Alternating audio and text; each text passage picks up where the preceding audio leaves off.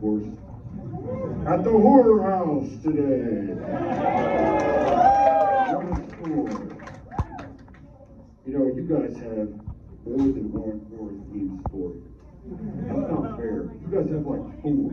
Plus, I don't even know. Anyway. I'm gonna show y'all my mask. How's it going, guys? If here last night, you're gonna hear some different shit. If you weren't here, you might be missing some of your favorite shit, but hopefully we'll play something you like. Let's see what happens.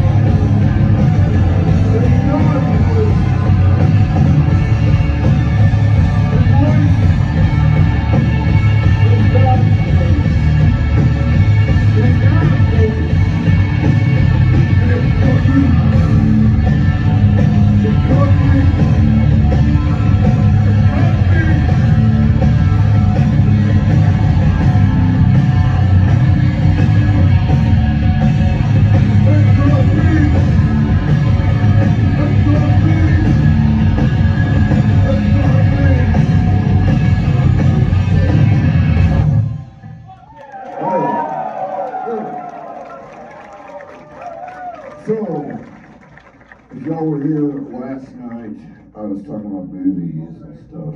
I promised you that I would be talking about different movies tonight. And I looked them up, and I had some in mind, and I've forgotten them all already. So, how about Henry? I talked extensively about it yesterday, but hey, if you weren't here, let me tell you this. We're staying over by Henry's apartment, and we just kind of walked by it. Beautiful moment in my life, personally. Something I'm gonna never forget. Henry, Portrait of a Serial Killer. Check it out. Quite a film. A Chicago film. All right.